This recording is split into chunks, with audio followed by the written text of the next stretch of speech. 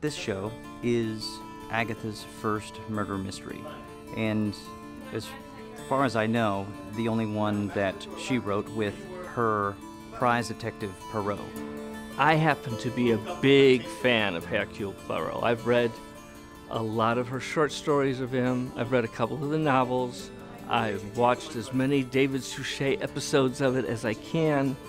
Um, I think it's great, and I'm excited to be involved in, in the one play that I'm aware of that he's in. I think this one's got a little more playfulness and humor in it because Hercule Poirot is such an endearing character. He's always going to be the one to find out the the mystery, sort of a Sherlock Holmes, uh, as I imagine Agatha Christie originally envisioned him.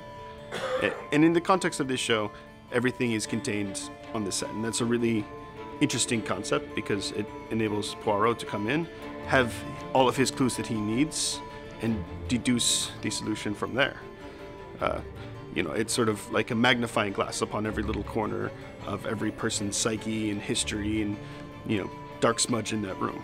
You have to follow along. There are little bitty tidbits everywhere in the show.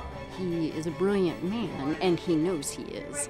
So it's a lot of fun to see kind of how he comes in and shakes this family up and shakes up the other characters um, with his personality. So every character has a moment with Poirot that I feel is like a really great crescendo of their character, and a little nugget of truth emerges about those characters in that moment. It's his play.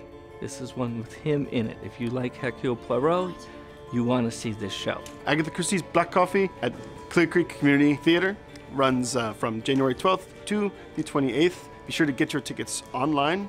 Uh, please check out the Facebook page, Instagram, Twitter, all the stuff. Share everything that you can to get all your friends to come along because a secret's no fun unless you get to tell to somebody, and you don't want to tell it to somebody that is going to see the show and then they spoil it. So, obviously, you want to get as many people as you can to come see it so then everyone can know the secret and it's all so good and everyone is happy.